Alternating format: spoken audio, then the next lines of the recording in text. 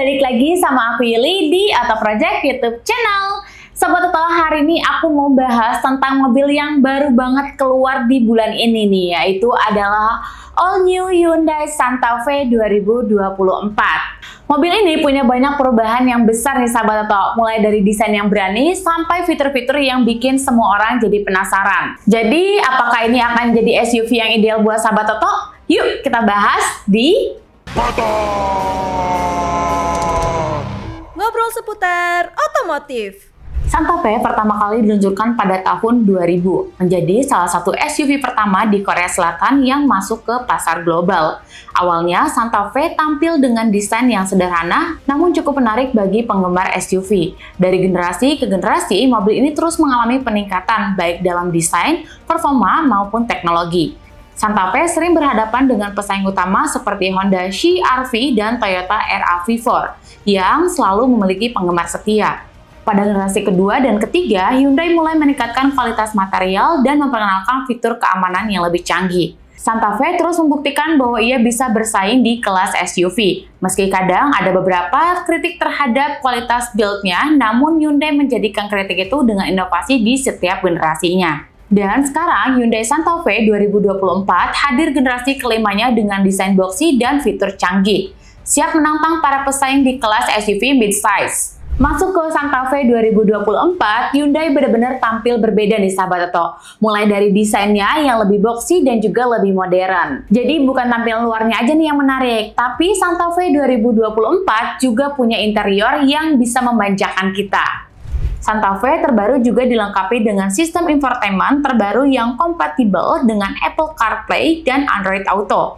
Layar sentuhnya luas, memungkinkan pengemudi mengakses navigasi, media, hingga pengaturan kendaraan dengan mudah. Sistem keselamatan terbaru juga hadir, termasuk lane keeping assist, blind spot monitoring, dan adaptive cruise control. Untuk performa, Santa Fe 2024 gak main-main. All New Hyundai Santa Fe tersedia dalam dua opsi mesin. Pertama, ada mesin 2497 cc bersilinder 4 dengan mentahan tenaga 194 dk dan torsi 241 Nm.